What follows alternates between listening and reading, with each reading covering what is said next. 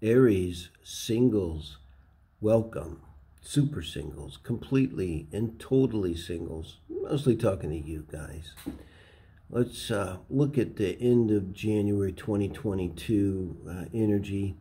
Just keeping an eye out for uh, your potential person here, what's going on. And uh, this is like a crazy positive reading. It's like, thank God, last week was like a nightmare. So, uh, bottom of the deck, you have the Ace of Swords, and this is your energy, the Five of Swords, in and around love and relationship here. Um, under the Ace of Swords, I, I was pronouncedly saw the Ten of Cups, so I have to count that too, since I just kind of struck me. Um, and this is what's crossing you. So I just put it in reverse. So it's as if the Four Pentacles in reverse. Uh, four Pentacles in reverse, you know, could be like the Five of Pentacles. It's not feeling uh, like you have enough. And I think with the Ace of Swords is overall energy. The Five of Swords, I mean, this could have manifested as having a fight, but I think it's you kind of arguing with yourself. Um, this the Ace of Swords and the Five of Swords, I mean, that could be like negative self-talk, I, I think, um, here. And you kind of look how this boy seems dejected here. Um, you're really thinking about. It's it's not the kind of victory. It's not a six of wands victory. You know, it, uh, it leaves you in this kind of place, which this is kind of a rough energy uh, to move on into a relationship with. And uh, I think what's compounding it's probably these difficulties in the past with other relationships. I want to clarify. Uh, first of all, the Four Pentacles here. This is uh, what's blocking you. Uh, because what you, I mean, you have this amazing advice from the world and the outcome of, of the star, the world and the star. I mean, it's kind of a lot, guys. It's, uh, it's like it's all you got to do is uh, turn the knob and walk on through, and you, you're going to level up here. Um, so blocking you too. Ace of Wands clarifying this uh, Four of Pentacles. Aries, this is feeling like you just have no energy. And maybe that's kind of what the negative talk is around for yourself. It's like, you know, uh, uh, this is very much like a, again, because this this is in the blocking position, maybe you could say it's a reversed ace of wands. So that's really drained. That's just uh, not being able to put any effort into something. I want to say anymore, not being doing anymore. It could be with that reversed uh, pentacle. Sometimes it's like, uh, I call it spiritual anesthesia. You know, we get these periods. If you really look at it, it's like spirits kind of putting us down. Um, you know, uh, so it could be that kind of energy.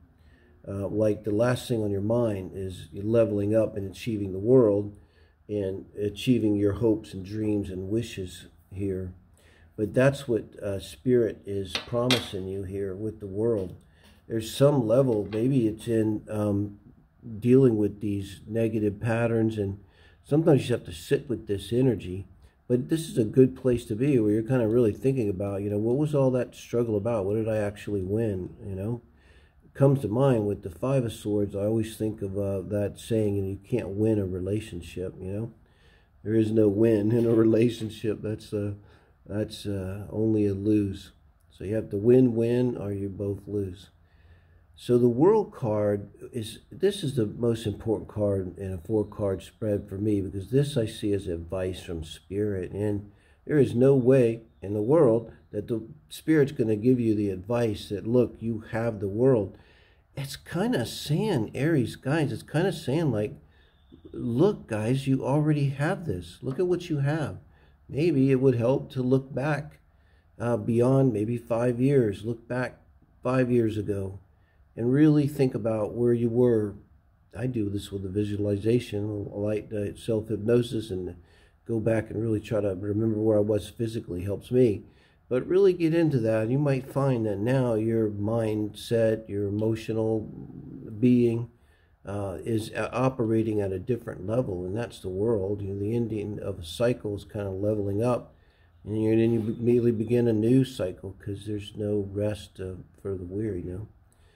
But with the outcome being the star card, this is the fulfillment of hopes and dreams and wishes.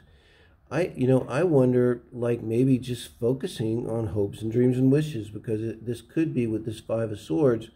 It's like you're in this inner uh, negativity and turmoil, kind of going around, kind of arguing with yourself, um, and you're not really seeing the opportunity, which uh, upright Ace of Wands is a fantastic opportunity. It's also a hard on, you know, so it's go, go, go, okay? Um, and the Four of Pentacles upright is not bad energy.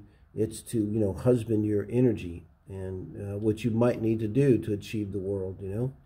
Um, it's making sure you do what you need to do to finish graduate school, to whatever and move up in the world, you know, which world can mean a graduation, a raise, a marriage, you know, change, changing your lifestyle that way is moving into a different level of life. So with the star, I mean, Aries, I don't know, you're, you, I could say that there could be an Aquarius involved in your future.